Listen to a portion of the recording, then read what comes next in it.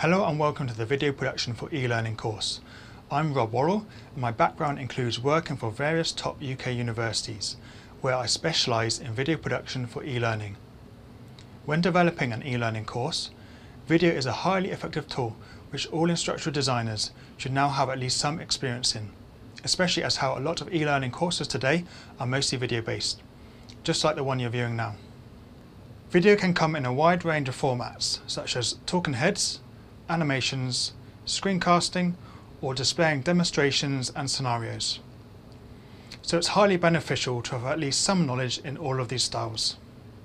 There's a wide range of benefits when incorporating video within your e-learning course, which includes being able to make the content a lot more engaging, demonstrating techniques or procedures which would not logistically be possible for face-to-face -face learning, and the ability to improve student retention.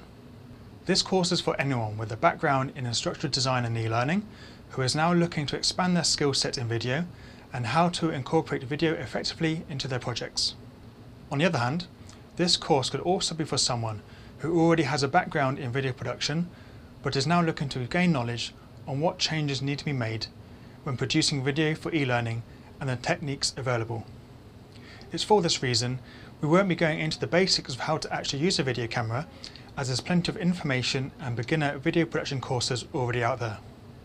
This course assumes you already have at least a small amount of knowledge within one of these areas, with the main goal for the course is to understand how a video production actually changes when developing for online learning and what techniques need to be used to make for an engaging video resource. Towards the end of this course, we shall also go through a few case studies of real-world e-learning video production project examples. The learning objectives for the course are as follows. You will be able to apply the ADDIE instructor design model to a video production project, providing a structure to the learning material. You will be able to effectively work with subject matter experts within a video production project, producing a script and storyboard following instructional design guidelines. You will be able to create a video resource following best practice guidelines for e-learning, improving the learning experience for the students you will be able to apply learning theories such as cognitive load theory and constructivism to video content, increasing student engagement and retention.